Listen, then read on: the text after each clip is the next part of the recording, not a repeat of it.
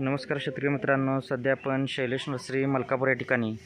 आता हे लोडिंग चालू आहे आपलं औरंगाबादसाठी. तीन हजार रोपं आहेत बघू शकताय सॉर्टिंग करून माल कसा भरला जातो. सॉर्टिंग करून कॅरेटमध्ये रोप भरली जातात.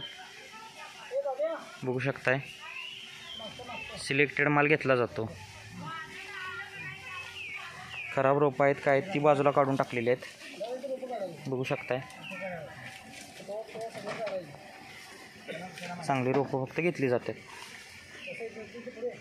अशी सिलेक्टेड रोपं घेतली जातात. बघू शकताय. पुढं पण सॉर्टिंग चालू आहे. फायनली कॅरेट भरून गाडीत निघालेलं आहे. बघू शकताय.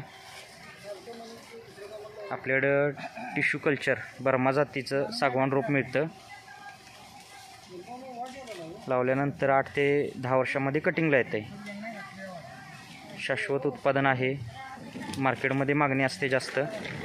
लाल साग असल्यामुळे फर्निचरला याला त्याला वापरलं जाते.